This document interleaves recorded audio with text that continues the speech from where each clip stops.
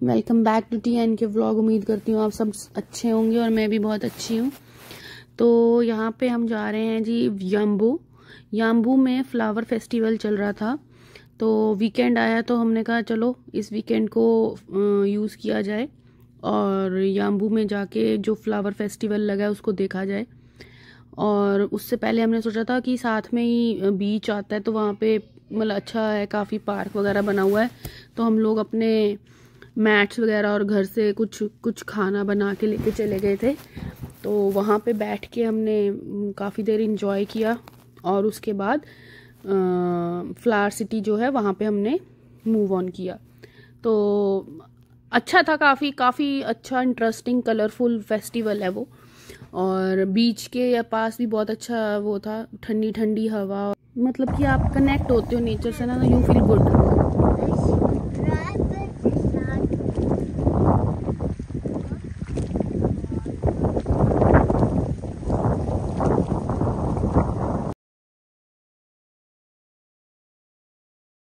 यहाँ आते ही सब बच्चे भागे इधर उधर, यहाँ वहाँ।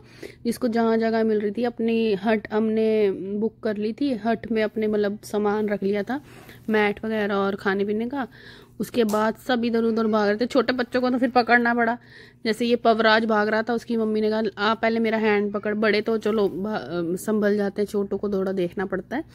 बाकी छोटू भाग गया था अपने पप्पा के साथ। और हम लोग इधर देख रहे थे, हमने कहा, चलो देखें क्या कैसा चल रहा है यहाँ पे हिसाब किताब।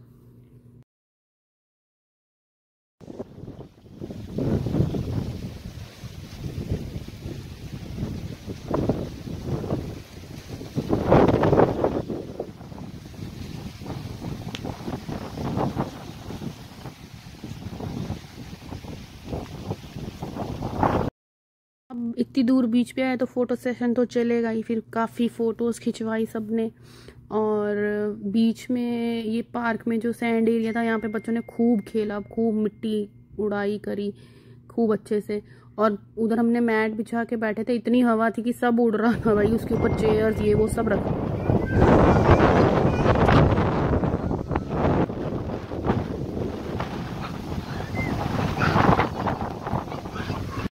खेल कूद के भाग दौड़ के सब हो गए थे टायर्ड फिर हम सब, और भूख भी लग गई थी सबको, फिर सबने खाना पीना खाया।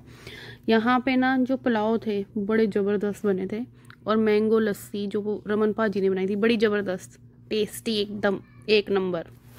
और पुलाव भी बहुत टेस्टी थे। तो हम यहाँ पे यामू में डायरेक्ट पहुँच गए थे आगे बीच के बाद फ्लावर फेस्टिवल में, जो यामू में ही है।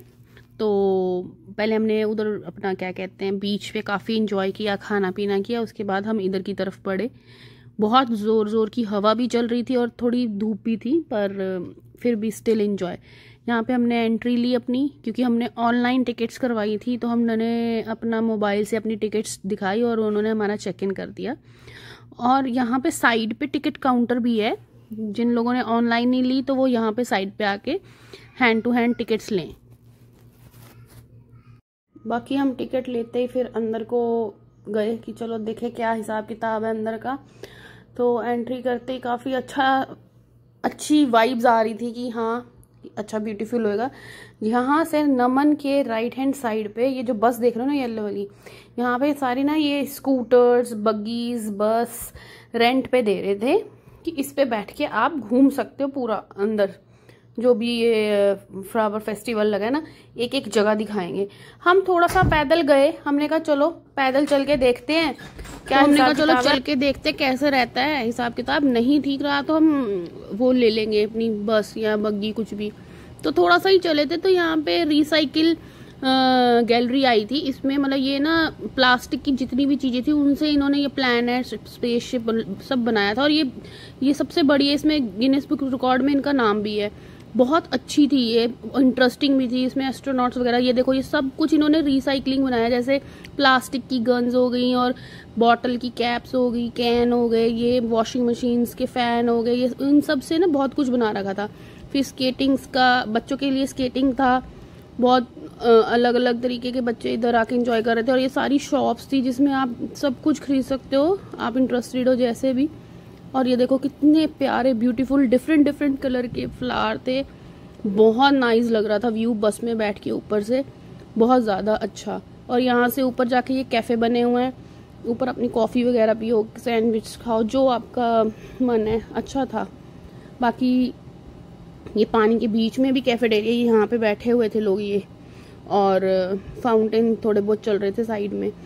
और आगे ना बच्चों के टॉय शॉप्स वगैरह सब कुछ थे। इन लोगों का अपना जैसे वो होती हैं चीज़ें पुरानी, वो भी रखी हुई थी इसमें। ये देखो, ये बग्गी दिख रही है ना? ये भी रेंट पे है कि भी आप इसको रेंट पे ले लो और, पूरी ऐसे घूमो।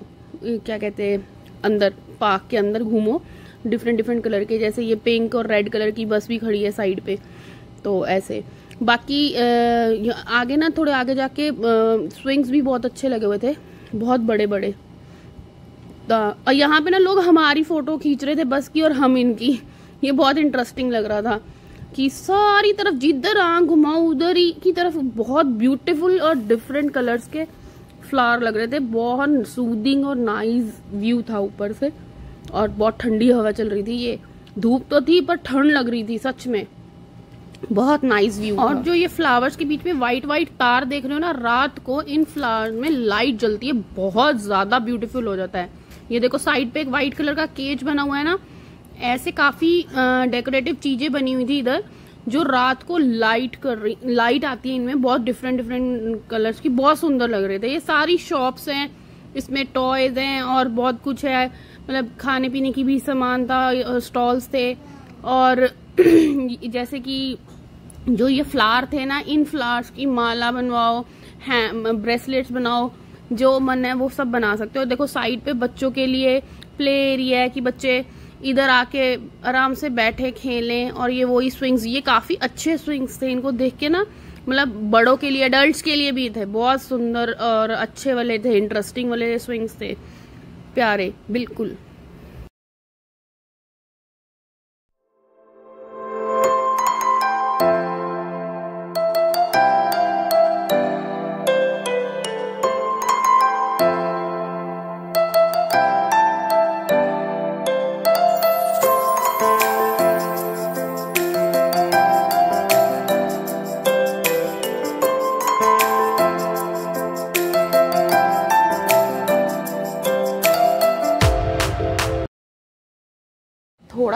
चलने के बाद यहाँ पे ऊपर एक साइड पे जगह आई, यहाँ पे सब लोग बहुत सारे बहुत सारे लोग जा रहे थे। उन्होंने कहा, पता नहीं क्या है, वहाँ पे ना मतलब ऊद, इत्र, ये सब मिल रहा था। स्पेश फ्रेश फ्लावर के फ्रेगनेंस वाली वो भी मिल रही थी परफ्यूम्स।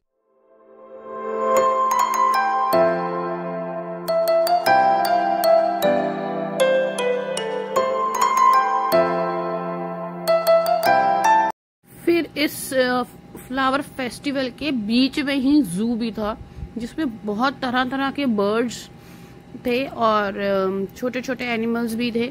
वाइट पीकॉक देखने को मिला यार, बहुत अच्छा था, बहुत सुंदर लग रहा था वो।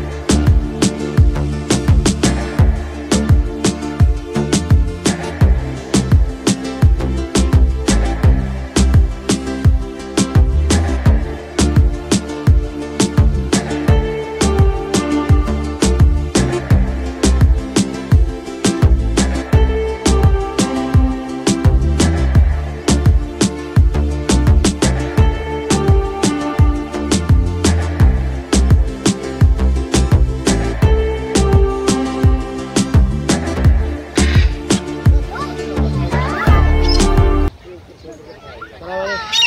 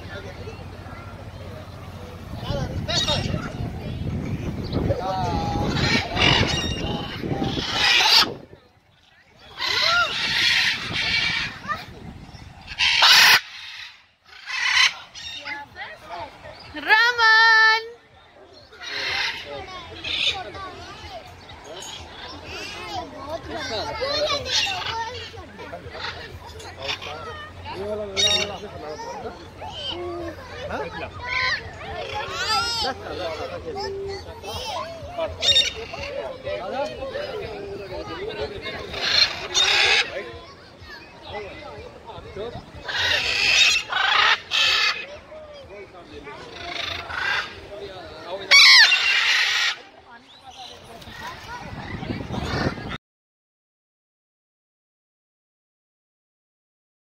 यहाँ पे नमन ने तो बहुत अच्छे से बर्ड्स पकड़े और उनको हैंड में उठाया, पर छोटू रमन हमारा बहुत डर गया था। मैं उसको आवाज़ें मारी थी, रमन रमन। और ये थोड़े बिग भी थे तो वो थोड़ा डर भी रहा था। फिर मैंने उसको जैसे तैसे करके मनाया और उसको छोटे बर्ड्स उसके हैंड में दिलवाए, वो बहुत खुश हुआ। हमने अपने सिर पे भी बिठाए हैंड्स पे भी बिठवाए बर्ड्स नमन ने भी काफ़ी अच्छे से बिठवाए। फिर धीरे धीरे छोटू भी कंफर्टेबल हो गया था उनको बिठाने के लिए। ये देखो व्हाइट पीकॉक भी था यहाँ पे, मैं बता रही थी ना, बहुत सुंदर था। तो उसको अच्छा लग रहा था कि हाँ मैं खेल रहा हूँ, पर वो ना डरा हुआ था अंदर से। मैं उसको कंफर्टेबल कर रही थी। मेरे पास तो आ ही नहीं रहा था। कह रहा था, मुझे पापा चाहिए बस। पापा के साथ साथ ही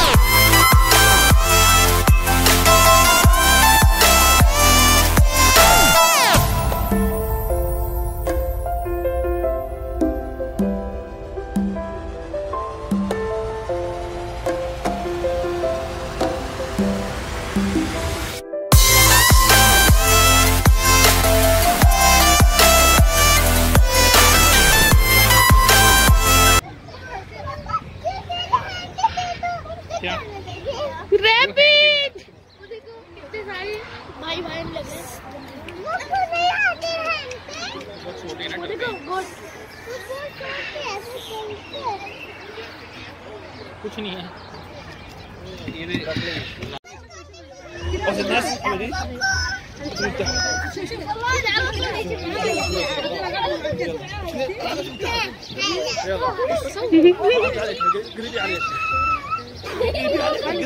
उठा ले पार कर कर कर।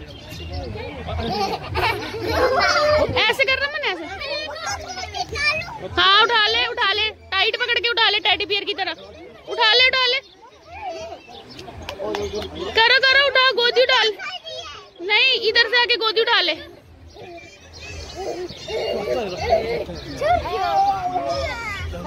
उठा ले रमन। उठा, छोटू। नीचे से उठाइयो। उसको वो नहीं अच्छे से उठाइयो, टाइट नहीं पकड़ियो ज़्यादा। उठा खेल रहे। तो जी, यहाँ पे हो गया था अंधेरा होना शुरू। और ठंड भी बढ़ गई थी और हवा भी बहुत ठंडी हुई जा रही थी। और इतना प्यारा इतना सुंदर लग रहा था। सारी जगह लाइट्स ही लाइट्स हो गई थी और लाइट्स चेंज भी हो रही थी।